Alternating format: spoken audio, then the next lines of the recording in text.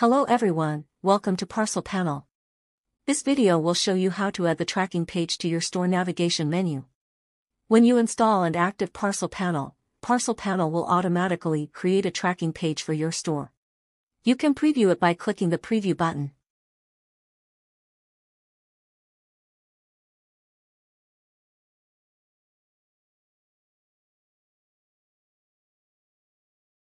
Also, you can preview it within WordPress pages.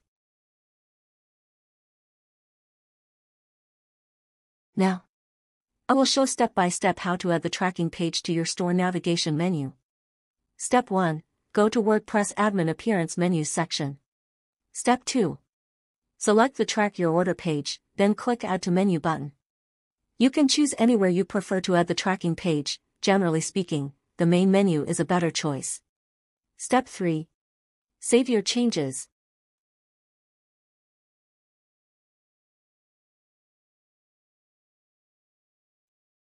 You can see that tracking page was successfully added to the main navigation. Your customers can very simply check their order tracking information here.